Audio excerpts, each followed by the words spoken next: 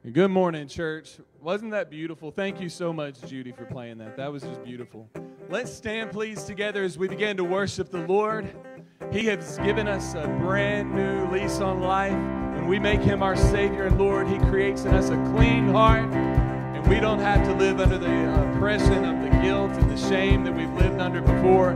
We stand in the freedom of Christ. I was buried beneath my shame. Who could carry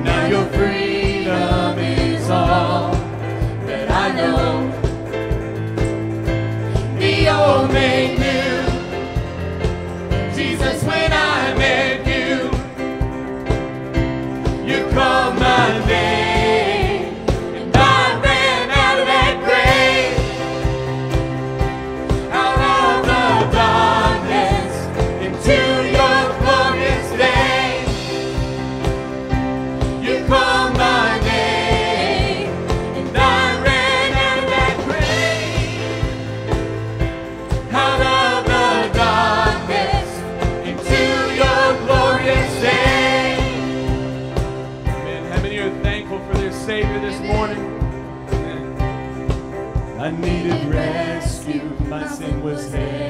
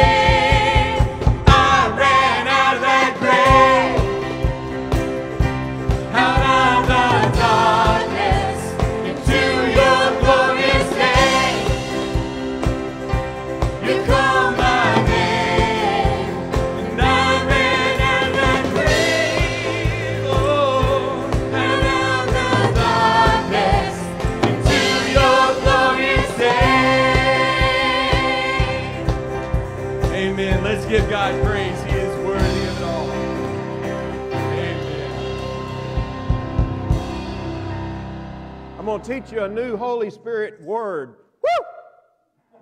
See if y'all can do that one. Woo! Oh, you got it, man. That's cool. Well, you know, welcome to this beautiful day of sunshine of God's love. It can be raining outside, but God's love warms everything up and shines it out. So glad that you made it, and uh, hope you can paddle home when all this is over with today. You know, I want to read a word to you before we pray. Jesus said this These things I have spoken unto you, that in me you might have peace. In the world you have tribulation, but take courage, I have overcome the world. And then these other words from last Sunday, where we read in God's Word, let us run with endurance the race that is set before us, fixing our eyes on Jesus. With that in mind, let's bow our heads and let's talk to our Lord. Father, I thank you so much today for your love. I thank you for your peace. And Jesus, for speaking the words of comfort and strength to us that we might have peace. To know, Lord, that we have endurance, but we can do it by fixing our eyes on you. We need Jesus. And Lord, you're with us always. And so, Lord, on this day, we give honor and praise and worship to you. We ran out of that grave because of what you did for us on Calvary. We want to thank you again this morning. In Jesus' name we pray. Amen. Amen. Be seated if you will. And, and what's that new word we learned today? All right, man. I tell you, this is the Walter Hill way of doing things. You know, we're going to sing a song, I Will Sing the Wondrous Story. And we're going to pray again right before our offering, and I'll remind us then. But let's remember Jack Wood, who had a stroke uh, yesterday, last night, and, and they're just really burdened about him. His left side's been affected. Uh, Tommy Sullivan has begun his chemo treatment, third time facing uh, the, the, cancer. And we have others on our hearts, uh, Polly's sister Betty, and, and others that we want to remember. But I'm going to tell you something. With all the cloudy skies, we have a wondrous story of the Lord. And that's what we're going to sing about, I believe, right now. We will sing his praise among the nations. Let's lift our voice this morning. I will sing the wondrous story of the Christ who died for me.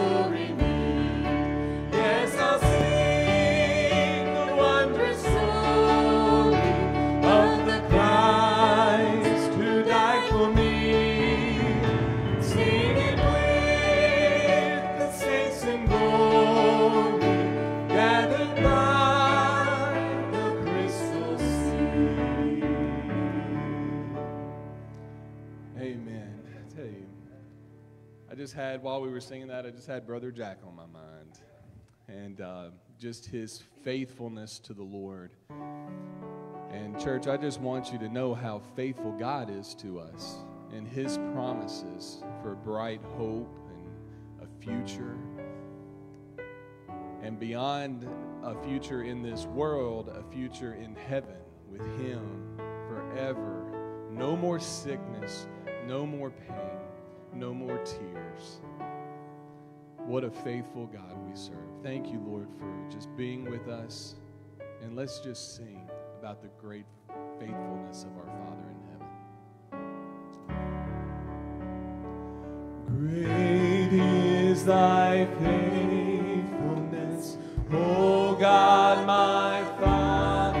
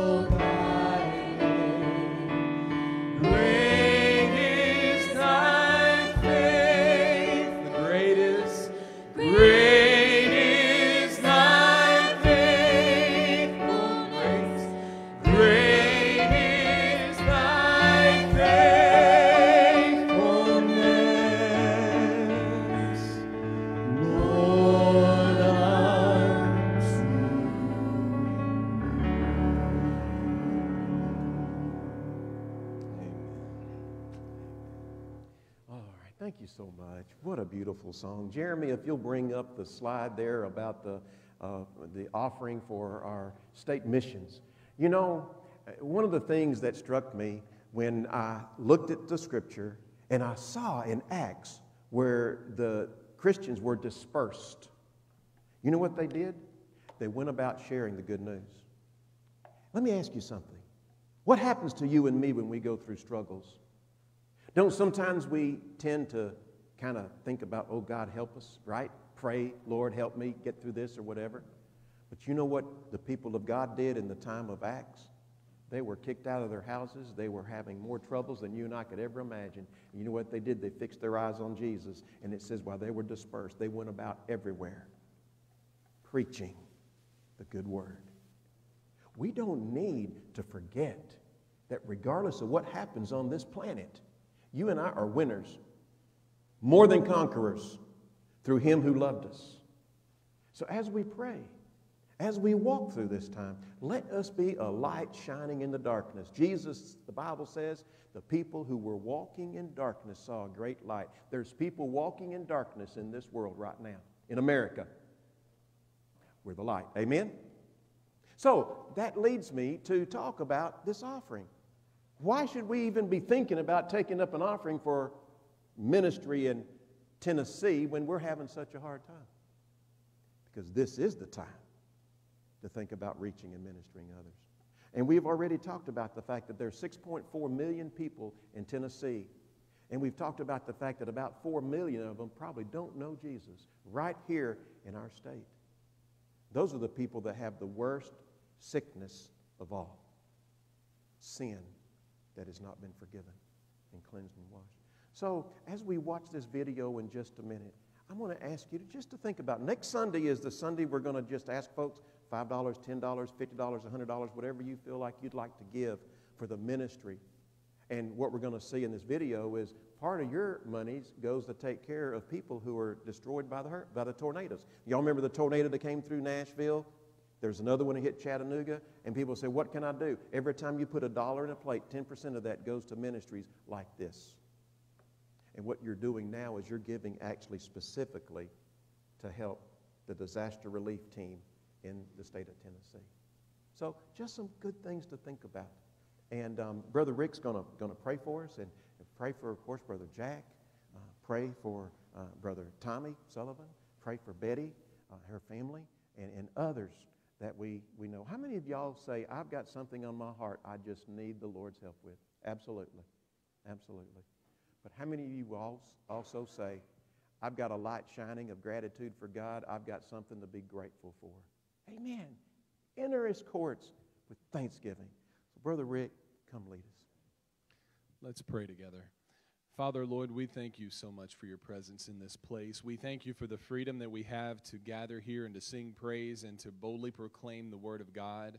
And Father, may it just ring true in our heart, not just today, Lord, but each and every day that we live, that our purpose uh, is, is created by you as you have created us and you have loved us and you have given so much for us.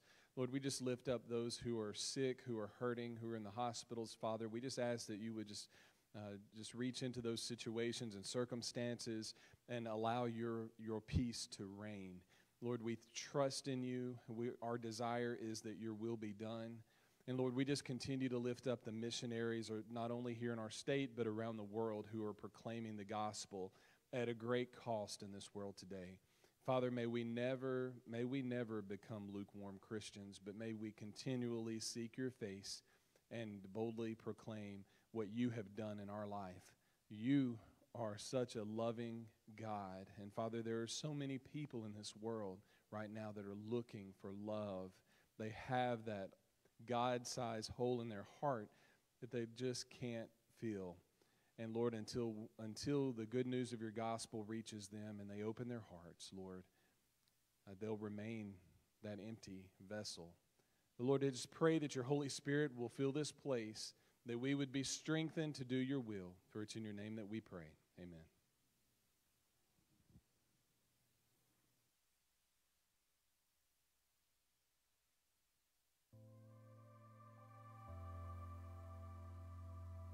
Easter Sunday evening, about 11:30, a terrible tornado came through at North Georgia and Chattanooga, destroyed a lot of homes. I think it was 344 homes were just wiped out, just leveled. We went to the hallway, hovered down, got in the hallway, the, the two of us and our little dog, and just began to pray and just started praying, God, help us, God, help us, God, help us. It is just a miracle that more lives were not lost. We couldn't get out. Our house was totally covered with trees all around it. We called, and about dark, somebody came and dug us out or cut us out. And then we just began to see the devastation. Tennessee Baptist Disaster Relief is a tremendous gift to our state, to our nation.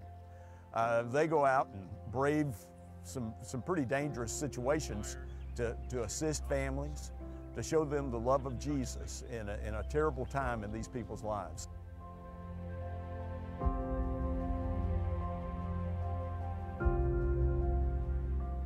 Yesterday was my hardest day. I've been trying to stay real positive and I got a flat tire and it's just like the last little straw, you know? And I just looked up at the sky and I said, I don't care what the enemy throws at me, I'm not going to lose my faith. God, you're all I got. I'm trusting in you. I rolled up here today and here was here was the Tennessee Baptist Disaster Relief people. And I've been like, where on earth are we going to get a bobcat? Well, God had a bobcat and, and he sent it up here with the Tennessee Disaster Relief. I enjoy being able to help people and I enjoy being able to discuss the Lord with people.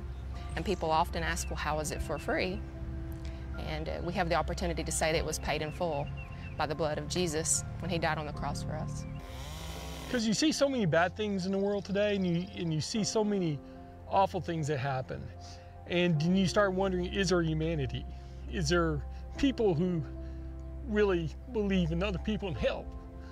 This shows us there is.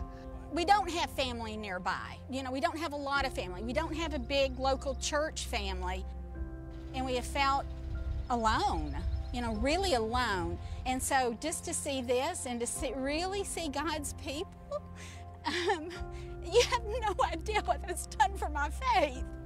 And the goodness of people and people that, it, and it's, it's all about, it's all about faith. It's all about God. It's all about His goodness. It's all about His mercy.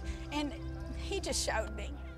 Just as people who give through the golden offering and the uh, cooperative program are showing the love of Jesus to help people, we that respond to the scene are also showing the love of Jesus in a physical way, you know. But the people who are giving financially to uh, Golden Offering and Cooperative Program are helping just as much as we are. They're no less important than the people who are doing the physical work. The greatest blessing for me is just seeing the volunteers, seeing how you guys come out to help us. And, and that is another piece that develops my faith in Him and strengthens my faith. So every hand that helps us or serve other people is an extra piece that establishes a person's faith in God and in humanity. And this is why it's so important for your ministry to come out to reach people like us.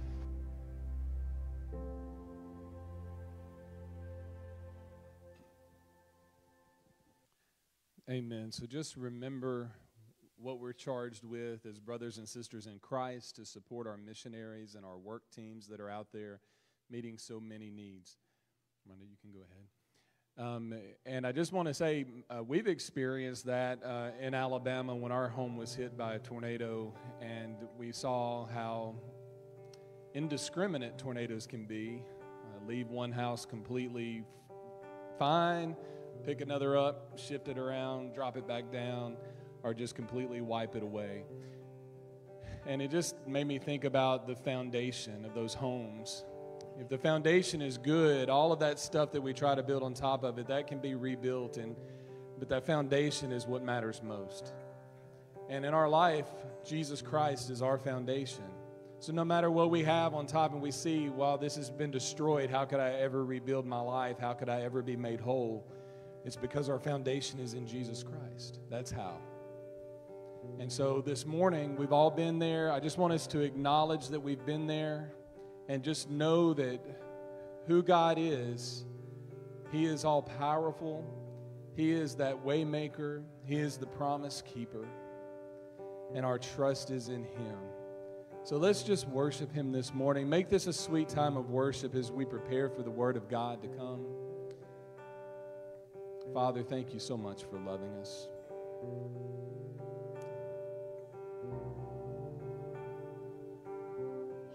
Walking around these walls. I thought by now they'd fall, but you have never failed me yet. Amen.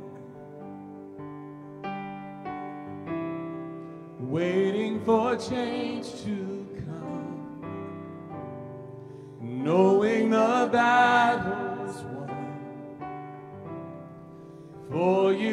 never failed me yet. Your promise still stands. Great is your faithfulness, faithfulness. I'm still in your hands. This is my confidence. You've never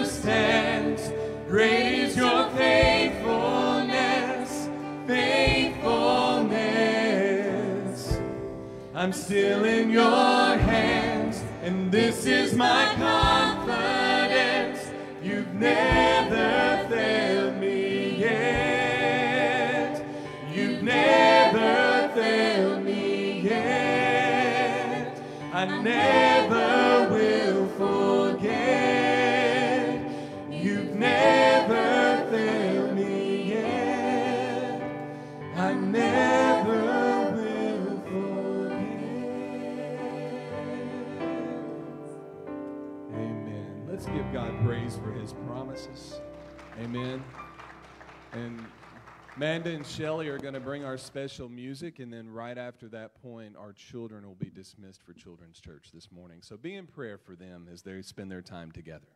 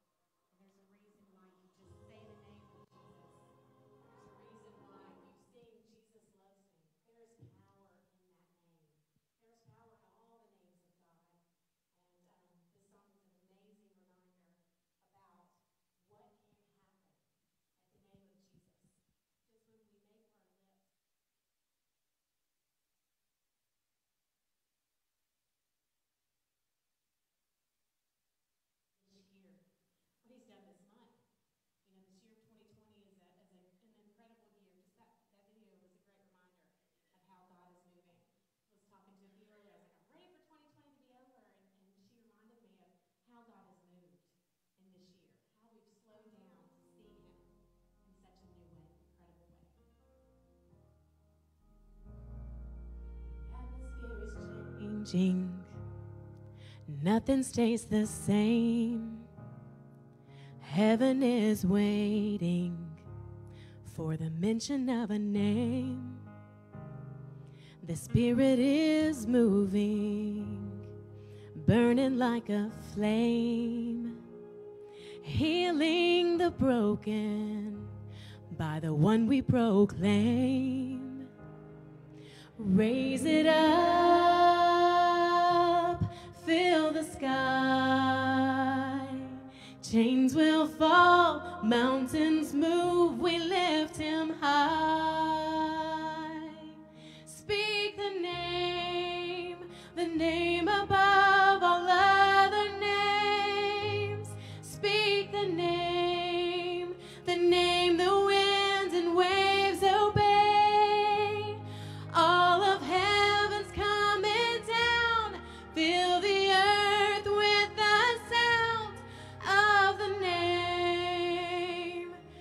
name of Jesus.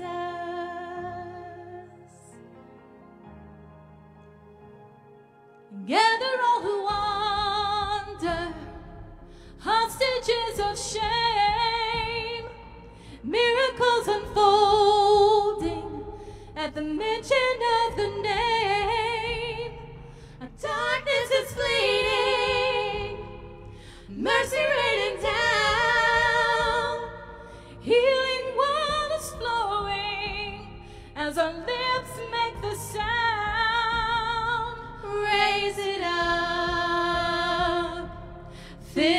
sky. Chains will fall, mountains move.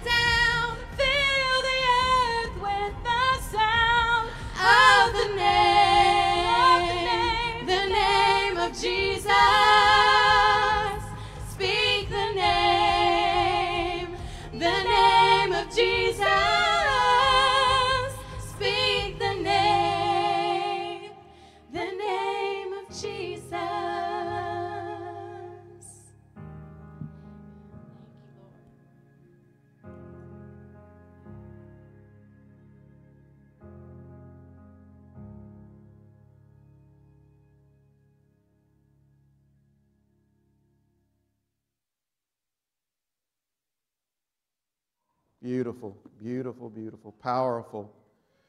Wow. You know, when you look in God's Word, and we're going to be looking in James and picking up where we were the other day, um, it's interesting when you look at the people who this was written to. In the book of Acts, you have the history of what happens after Jesus goes back into heaven. One of the things that Jesus says is to the disciples, You're going to receive power. After that, the Holy Spirit has come upon you. And uh, look at those kids. You'd think Jesus just walked out the door back there. They're all going to go see Jesus. Well, he's here too. And he says, You're going to have power. After that, the Holy Spirit's come upon you. And so, about 120 of them were gathered praying. They knew this was a moment in their life that they had no idea how to anticipate it. But God was going to be doing something. And sure enough, on that day, the Holy Spirit came. They began to speak, and their words were translated through different languages immediately. And people from all these different areas who'd come to Jerusalem were now hearing the Word of God. And Paul and Peter got up, preached the message. The man who denied Christ was now a powerful preacher. He'd been filled with God. And, and even that itself tells us today we need to be filled with God. It doesn't matter what's going on around us, we need to be filled with God. And he preaches. And as he's preaching this word, 3,000 people get saved. And he's out there in the temple, they say, probably preaching because there's these stairs that he would have been standing on. And out there are these little baths that people use to wash their hands and feet and stuff like that, you know, to get into the temple. And they said they probably baptized those 3,000 people outside the temple everywhere. Can you imagine the picture? And then what you have is you have then Peter and James and John, they're going and to pray in the temple. It's the hour of prayer. They've realized that you and I need to realize being connected with Jesus ought to be one of our number one focuses in this day we live. And they were going to pray. And there was a lame man. He was somebody that obviously Jesus hadn't healed. I don't know why, they never brought it to him, but Jesus had a plan. Do you know what? Jesus has a plan for every problem you face. Might not be the time today, but he's got a plan. He's got a way to work. And so what you find there is in chapter 3, Peter and John look, and this guy said, Do you have any money? And, G- and Peter says, No, I don't have money, but what I do give you, I give you in the name of Jesus. We just had a song, Name of Jesus. In the name of Jesus, stand up and walk. And this guy gets up, he's excited, he's shouting. Everybody in the temple's excited because they know this dude. They've been watching him and following him. Somebody said for 40 years he's been like that. And they've been watching him, and you know what happens? Peter preaches another sermon, and now we have 5,000 people in the church. 5,000 people. In fact, the scripture says there that some of the priests began to get saved. Some of these guys that heard Jesus in the temple are now getting saved. And it's powerful, powerful to the point that what you find is you've got people now that are bringing all the sick to Jerusalem. The words got out. Jesus is gone, but now they're talking about Jesus in his name, and people are getting healed. So they're bringing Uncle Billy and Aunt Sue and everybody else to get healed, and they're just hoping that the shadow of Peter passes over them so they can get healed. And guess what? The Sadducees, the chief priests, are getting upset because you know what Peter's saying? He's saying, You guys crucified the Son of God. You did that. He's looking at them, his eyes are gleaming. He is not holding back. He is preaching the direct word in the same way that America needs the direct word today. You have sinned and you are experiencing the judgment of God today. There is no coating over sin. You have got to deal with it. And God says, Come unto me, all ye who are weary, I will give you rest. And in Isaiah, as we saw in Sunday school last Sunday, come, let us sit down, let's reason together. Though your sins be as scarlet, they'll be as white as wool.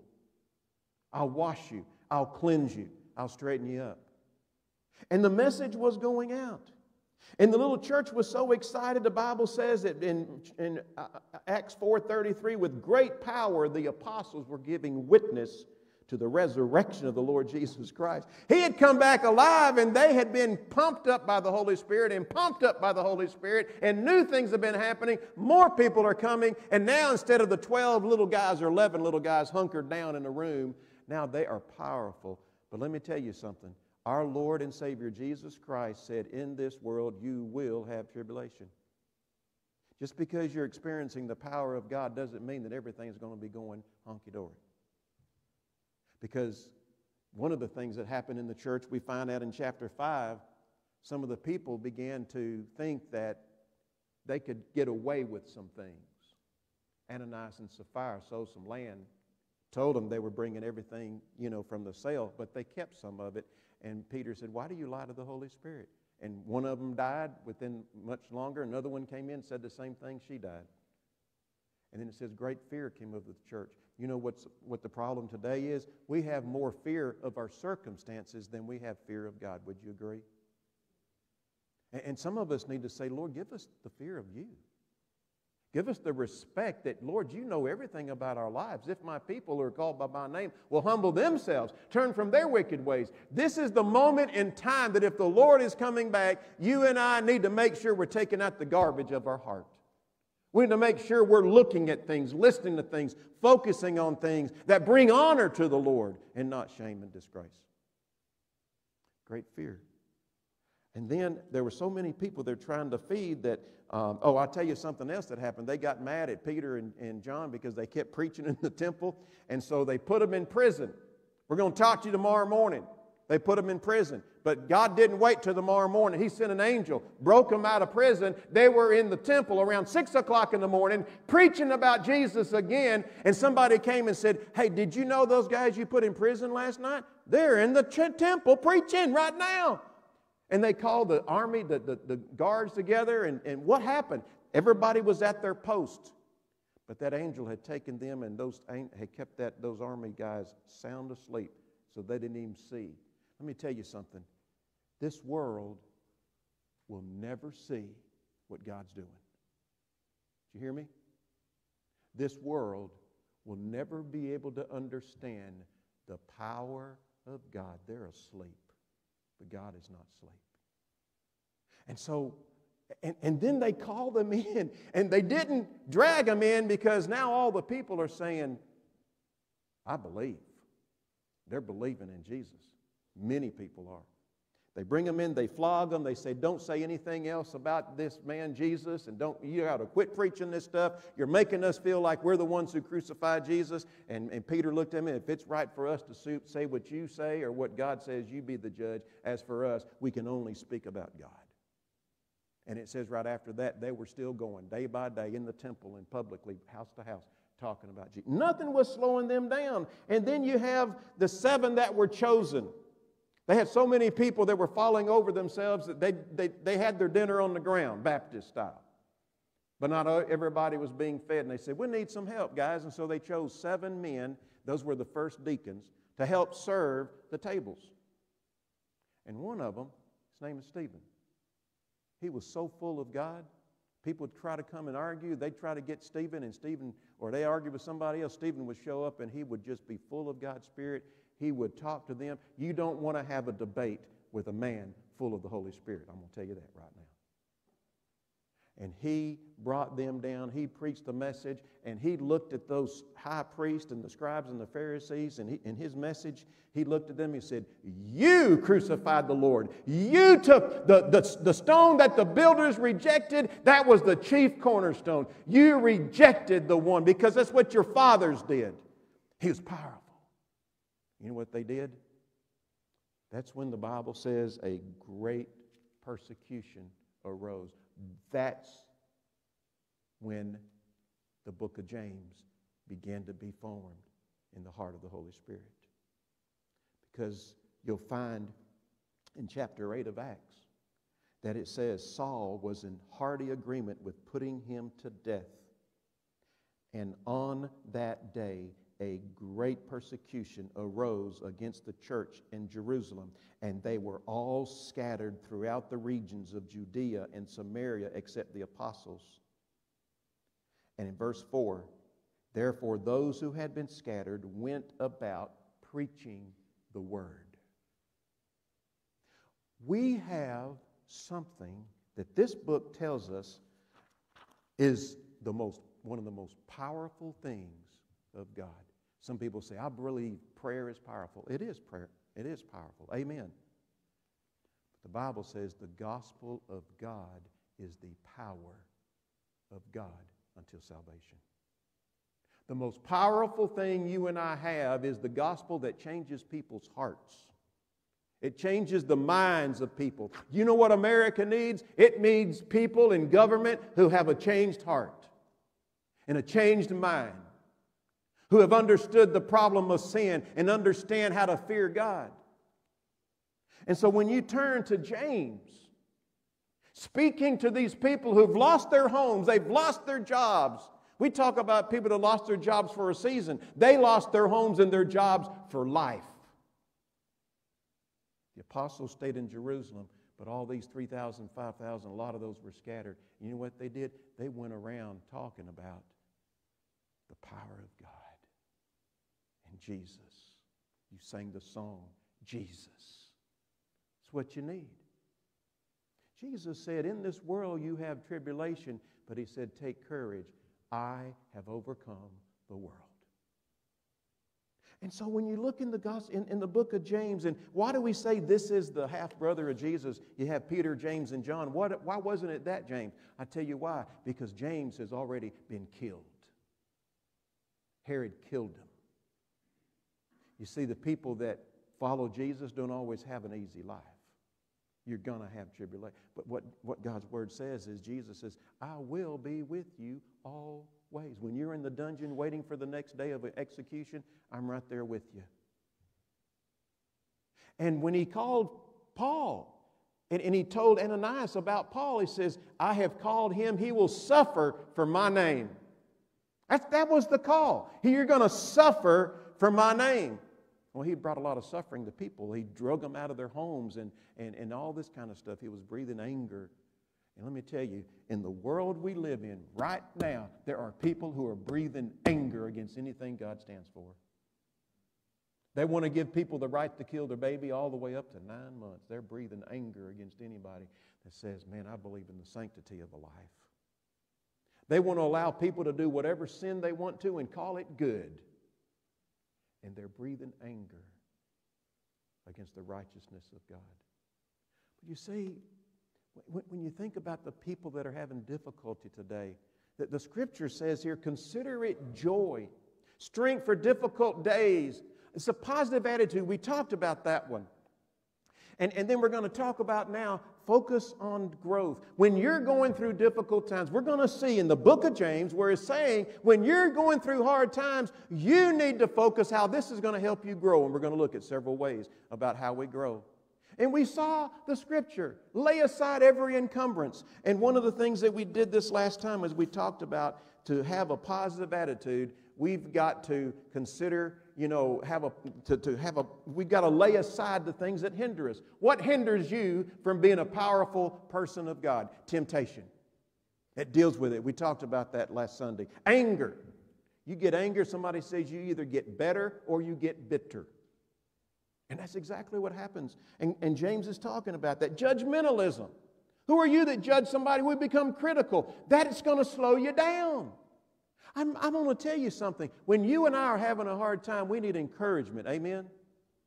We need people to be at their best to say, look, you know, and so, you know, that'll slow you down. Your mouth will slow you down. Selfishness will slow you down. You see the scriptures, and if you didn't get the notes, they're at the back back there. Now, the next one we want to look at has to do with uh, the next verse, which is knowing that the testing of your faith produces endurance. And I remember sitting there thinking about that, and, and it's like, Lord, what, what is it that you're, you're trying to say? You know, you're saying focus on spiritual growth, knowing that the difficulty you're going through is going to make you stronger. And so one of the big question marks I had was stronger how? It's been amazing to me as I look at James. It's like this whole book is about Christians working through hard times. The whole thing. When you, when you begin to look at the perspective. And so, one of the things that I noticed right off the, the bat is you're going to grow in strength. You know what endurance is? It's the person that keeps getting out there running and running and running. He's getting more stronger for the marathon race, right? Whatever you do, people that go on the, they try to get the gold medals at our Olympics, you know what they've done? They've had a ton of endurance. And so to have a positive attitude, you're saying, Lord, how can I have that? Focus on the fact of how you can be getting stronger. But then the question is stronger in what? Well, I read James chapter 1, verse 22. It says, Prove yourselves doers of the word and not merely hearers who delude themselves. And you know what?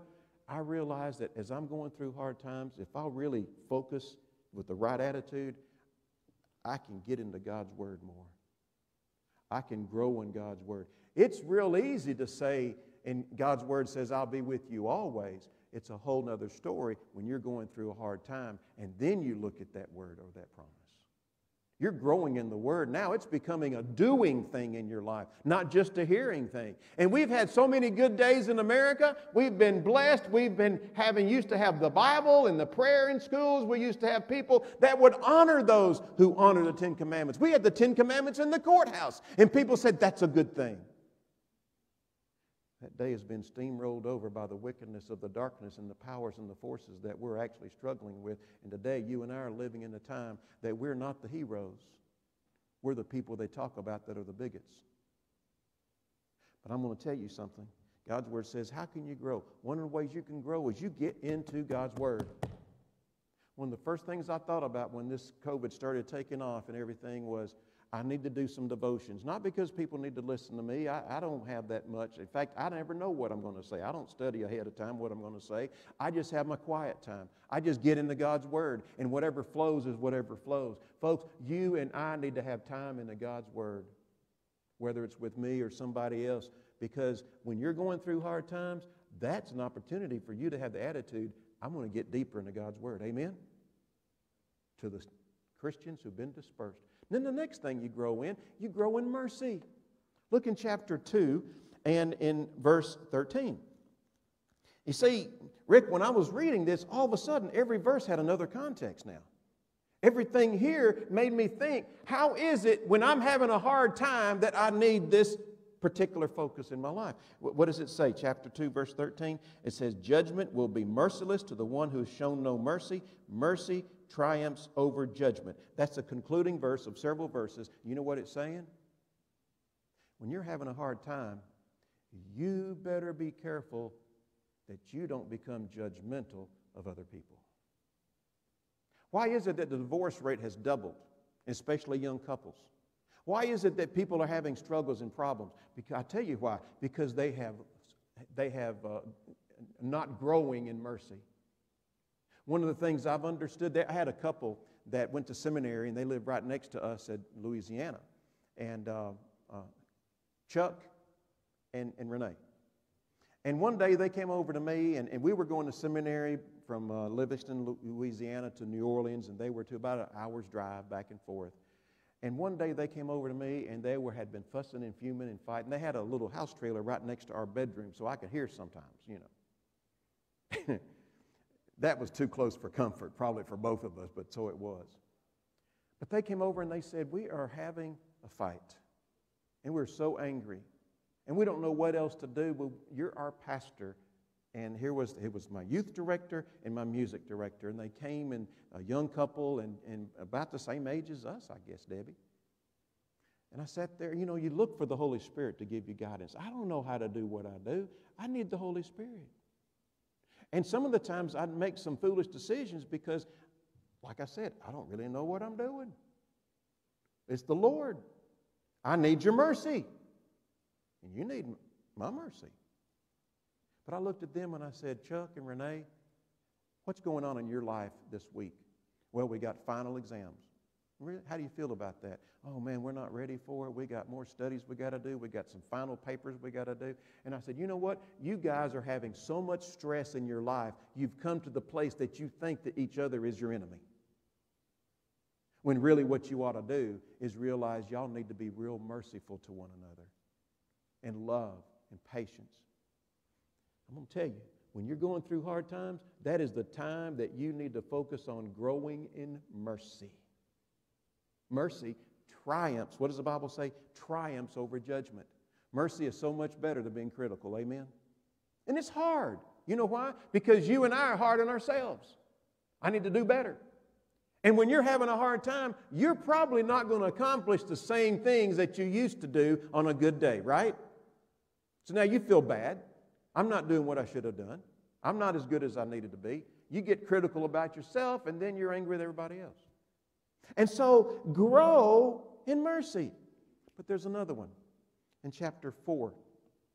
And in, in verse 13, it says this Come now, you who say, Tomorrow, I mean today or tomorrow, we shall go to such and such a city and spend a year there and engage in business and make a profit, yet you do not know what your life will be like tomorrow. You're just a vapor that appears for a little while and then vanishes away. Instead, you ought to say, If the Lord wills, we shall live and also do this and do that. So, what does that mean? And why did I uh, think about the fact that you're growing in trusting God? Well, I tell you what happens to me when I'm under stress, I make a list of things to do, right?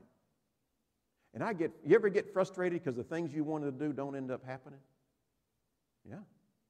And when you're stressed, it's double stress. Because now not only am I having a hard time with this, remember the girl that she said, you know, or had the tornado came through and all that? And then what happens? I got a flat tire, and it's like, I can't deal with this. Then you need to grow in trusting God and realize you can only do so much. Sometimes you're trying to do the best you can and you find yourself getting angry or, or critical or whatever towards somebody else. That's where you have to say, Lord, I need you. I trust you. Don't say you're going to do this and that, because then you're going to be looking for other people to do this and that. Do, do, you see that this is a time, time to grow? Consider it joy. How do you consider it joy? I think one of the ways you consider it joy is you simply begin to say, Lord, I want to grow. I, this can be good for me. And so that's that. Now, there's, there's one more here. And here's, here's just a little picture I found. When you face difficult times, know that challenges are not sent to destroy you, they're sent to promote, increase, and strengthen you. Run with endurance, is what it says. Lay aside the encumbrances. Fix your eyes on Jesus. If you keep your eyes on Jesus, you're going to grow in the Word, you're going to grow in mercy, you're going to grow in grace, all those things in His Word. All right, now let's, let's look at, the, at the, the third thing here. It has to do with the next scripture. It says, Let endurance have its perfect result. You see, I'm sitting there thinking, all right, Holy Spirit, what is it that you're trying to say in that verse? You've already said, consider it joy, have a positive attitude. You've already said, you know, run with endurance, you know, um, and, and, and that you might grow, that, you know, knowing that this produces endurance, knowing that this is going to help you grow. And then let endurance have its perfect result. You ever heard that song by the Beatles, Let It Be? Mother Mary comes to me, words of wisdom, let it be. Now, I don't go along with the Mother Mary part. But the wisdom of that was surrender to God. Now, wouldn't it be interesting that in this book that's written to people that are having a hard time, that somewhere in there it might say you need to submit to God? Well, boy, howdy. I found it. You see, you know, it, it, it's in there. Uh, let endurance. So, what it's saying is submit to God, let endurance have its perfect result. All right, one of the things we find is in verse chapter 4, in verse 6. It says, But he gives a greater grace. Therefore, it says, God is opposed to the proud, but gives grace to the humble. Submit, therefore, to God. And Rick, I saw that. I said, that's the hardest thing to do is to be humble when you're so proud, right? I can do this. That's what the world says, right? And if I can do this, you can do this. There's something wrong with you if you can't do this. Something wrong with me if I can't do this. I'm going to tell you something. In times of stress, I need grace more than any other time in my life. You know what's been so frustrating to me? I have had what some people term as post COVID syndrome. You know, I'd heard there was a guy who went with us to Ecuador on a mission trip, Kenneth Thomas, and this is months ago. He said, You know, I went to my doctor. I had COVID. It's been over a month, and I'm still feeling fatigue. And I went to my doctor and says, When am I going to get over this fatigue? Doctor says, Sometimes it goes six months. And I remember reading that and just kind of locking it away in my brain and thinking, Well, what's that about? I don't know. And then, after having COVID, it's been over a month now, almost every day, around sometime in the morning, sometime in the afternoon, my eyes start burning like I have a fever all of a sudden I feel like I've got the flu and I've got to lay down. I got a headache, and Debbie will tell you, I never have headaches. And it's like I have two, three hours where I feel like the things come back. And I thought, that's weird. And so I, you know, you can, hey, Google, fatigue after COVID, you know. Uh oh, my phone's probably all over there doing that right now.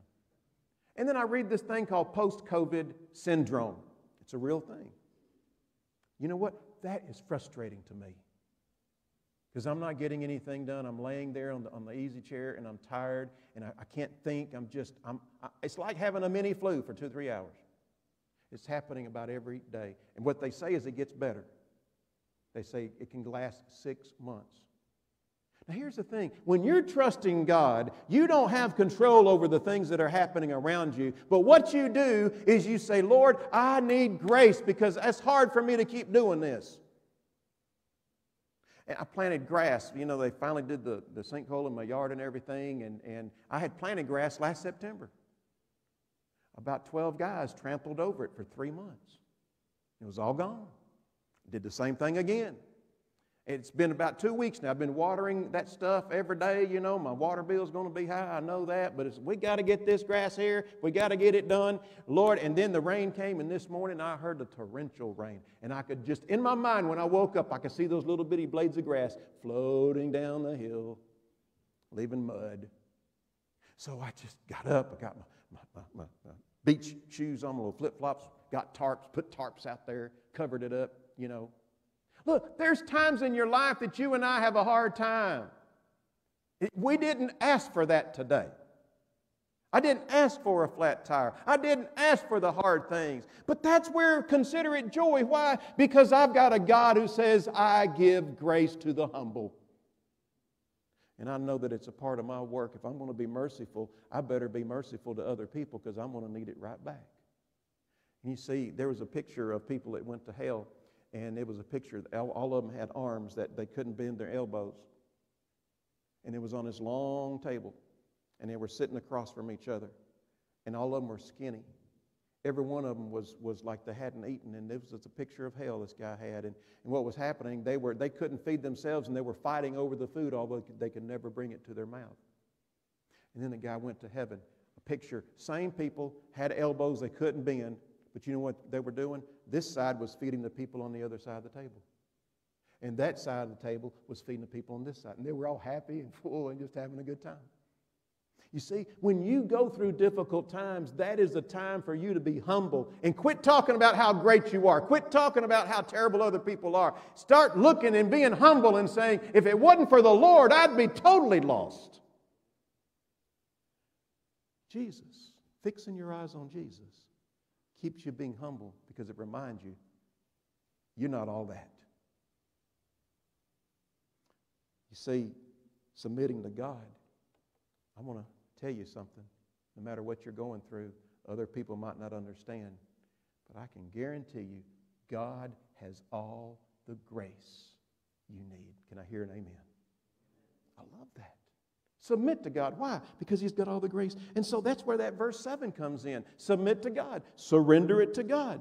Something else you're going to have to do, we find in James chapter 4 and verse 8 draw near to God, He will draw near to you. Cleanse your hands, you sinners. Purify your hearts, you double minded.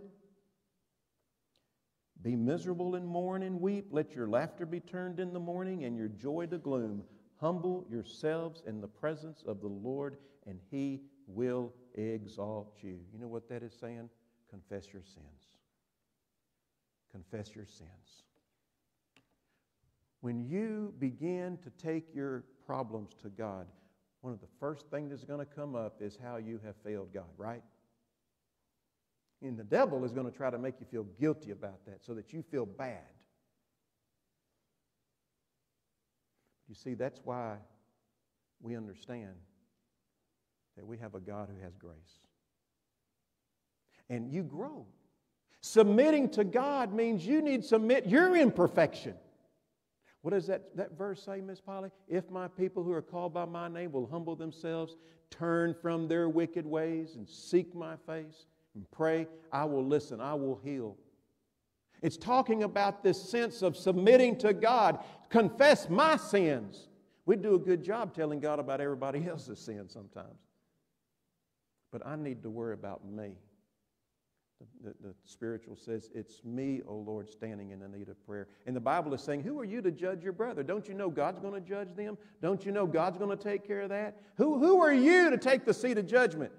That's the proud person. No, what you and I need to do is humble ourselves before the Lord and say, God, by your grace, I'm going to make it through this. I don't know about tomorrow, but I know who holds my hand. That's what we're saying as, as we're walking through. We all know that. We're shaking our hands. Yes. And so there's one more.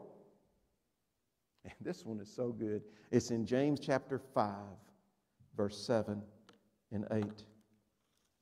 It says, Be patient. Don't you just hate it when somebody tells you to be patient? I mean, it's like right away. I don't like that. But I'm going to tell you something. When you're going through a hard time, the strength of God's patience is going to be so valuable. It says in James 5, verse 7 Be patient, therefore, brethren until the coming of the Lord. Behold, the farmer waits for the precious produce of the soil, being patient about it until it gets the early and the late rains. You too, be patient. Strengthen your hearts, for the coming of the Lord is at hand. and then it goes into this other thing about being critical. Do not condemn uh, complain, brothers, against one another that you yourselves might not be judged, etc., etc. You see, these are all scriptures that are written to Christians that are going through hard times. How do you do it with a smile on your face? You realize that you, you know, some of these people had lost their homes. You ever looked at people who are homeless? They try to find a place to, to lay their head. They try to find somebody that will be kind to them. That's one of the most humiliating things I think anybody could go through. Some people have just ended up, I'm living in my car, that's where I am. These Christians had been dispersed, and I'm sure they were just depending upon somebody else with the grace to say, Come on in, stay with us. We'll help you get a job so you can begin making some money and get yourself a little house and start all over. And maybe they were saying, Man, you used to see the house I used to have. It was on the corner of the street. Man, we had two or three servants. We had money coming in. We had a business that you wouldn't believe that my grandfather passed down to us. And now they're sitting on a street corner. God's word says, wait patiently. Because, like the farmer is doing his hard work, and the farmer does hard work, he plows, he gets the bugs out, he's trying to get the weeds out, he's trying to have a, some kind of produce, some kind of way to be productive. And I'm going to tell you something. God showed me this some time ago. Time is never wasted waiting on God. You never, you're not wasting your life when you're waiting on God because it's up to God. Who are we to say this is going to happen tomorrow and I'm going to do this and that? You can't do that. What you can do is say, Lord, our church is in your hands. Amen? Our wonderful people are in your hands. You see, when you begin to trust more in God than the way everything's happening, all of a sudden there's a peace that comes over you that is so beautiful. That's why the Bible says in Isaiah 40, those who wait upon the Lord, they get new strength. There's a new strength that is given to you because I'm just trusting God. I don't know. I'm just going to deal with every day. I got a flat tire, I cry, but then I realize God is blessing me. I'm going to humble myself before the Lord. I'm going to grow in the study of His Word. I'm going to grow in endurance. I'm going to grow, grow in being merciful. I'm going to grow to become more like Jesus. Would you bow your heads with me, please? Father, the next statement in this word says, If any of you lack wisdom, let him ask of God. And we know, Lord, that's like the icing on the cake. If we need to know how to be more merciful, say, Oh, Lord, please help me. Give me wisdom. If we need to know that, God, how can I have more patience? I want to have a good attitude, but God, this is hard. How do I have more patience? Ask of God. Lord, you are in the center of our universe. You have a throne of grace. You give grace to the humble. Humble ourselves under the mighty hand of God. And I just want to pray for people that are having a hard time today, whether they're listening to this on Facebook. Lord, I, I can imagine how hard it must be to be some that have a risk of their health and are having to stay inside and not get out, and they, they want to be at church. They, they can't be with their family, their church family. And I just pray, Lord, that you'll use these words to speak to their hearts. We all need the word of James. To the saints of God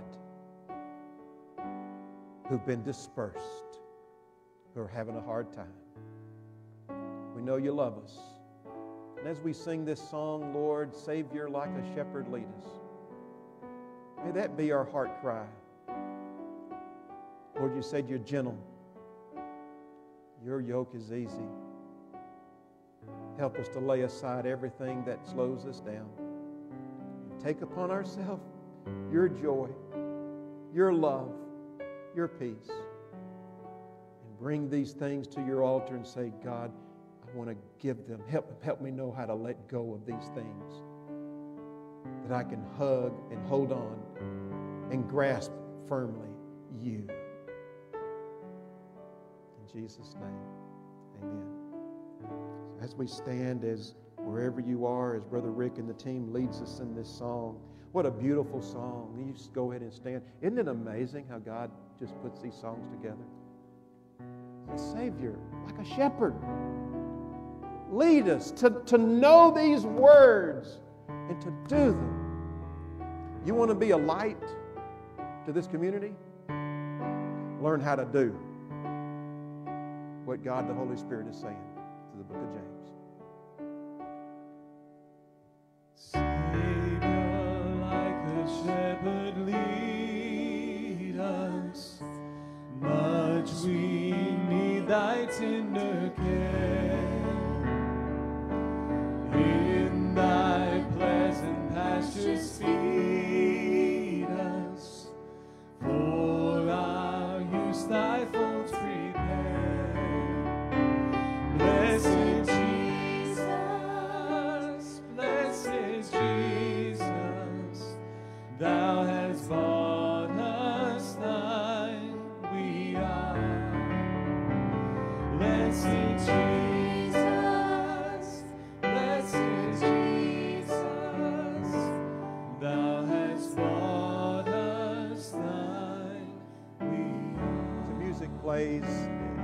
Just ask you to do something in just a minute. I'm going to have us bow our heads. I think in God's house and where you might be watching, sometimes it's a good thing to say, Lord, I need more mercy. I think sometimes it's a good thing to say, Lord, I need more patience. I think sometimes it's a good thing to say, Lord, I need to be paying more attention to your word than the news app on my phone. I think sometimes it's a good thing to say, Lord, I need to grow through this. Would you bow your heads? And, you just do it between you and the Lord. How many of you right now would say, Lord, I need more mercy? Just lift your hand to the Lord. Okay? All right, put it down. How many of you would say, Lord, I need more patience through all this hard time? Just lift your hand to the Lord. Amen. Amen. And how many of you would say, Lord, I need to trust you more with the difficulties of my life? Just lift your hand. And there's others that you can go through. I, I, I don't need to go through every one of those. But I, we're in the house of the Lord where you can bow at his feet. He's not here physically, but he is here spiritually. And with your head bowed, would y'all sing that next verse? And with our heads bowed, let's really say to the Lord whatever it is on our heart as you pray, as Rick and the team sings.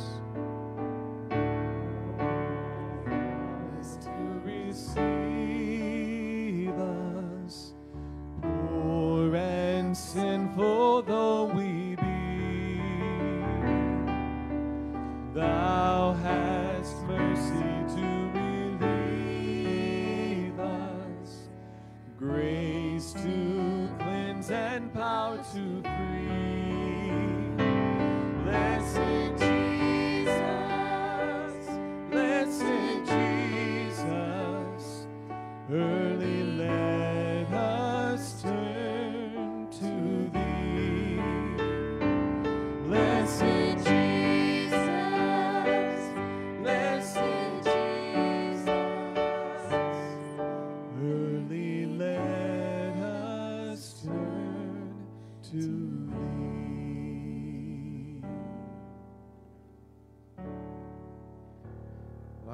To tell you, I, it's hard to describe to you sometimes when I'm sitting there with God's Word and this thing just starts to unfold.